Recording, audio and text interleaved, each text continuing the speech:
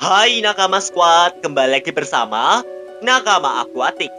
Kalau kita memelihara kura-kura, pasti tidak jauh dengan hal-hal yang berbau cangkang, bukan?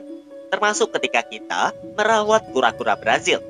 Meski punya harga yang bisa dibilang cukup murah dan terjangkau, ternyata kura-kura Brazil bisa tampil indah dengan punya cangkang yang cerah. Hal ini bisa jadi pembeda kura-kura Brazil punya kamu dengan orang lain.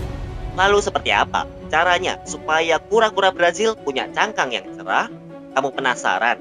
Tonton video ini sampai habis ya.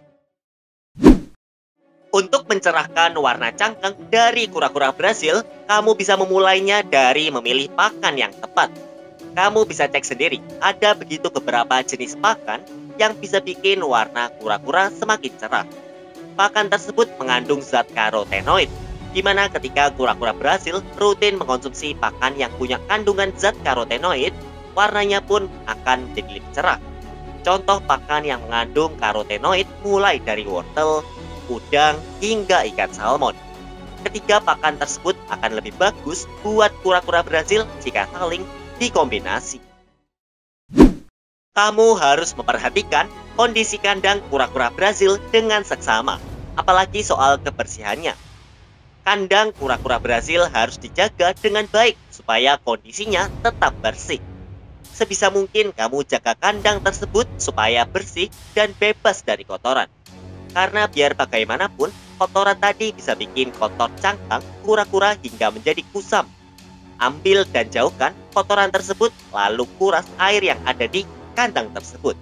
Baik itu kandang berupa akuarium maupun kolam.